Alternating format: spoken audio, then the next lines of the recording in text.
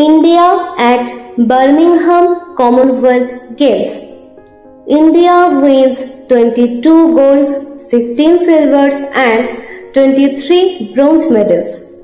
India's position in medals tally is fourth, where Australia is in first position, England is in second position and Canada is in third position.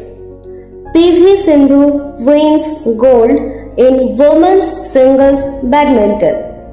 Lakshya Sen wins gold in men's singles badminton. Satwiksairaj rank ready and Chirag Shetty wins gold in men's doubles badminton. Achanta Sharath Kamal wins gold in men's singles table tennis. Also Achanta Sharath Kamal and Srija Akula wins gold in mixed doubles table tennis. Australia beat India by 9 runs to win gold medal in the women's cricket. Australia wins gold in men's hockey by beating India 7 0 in the final.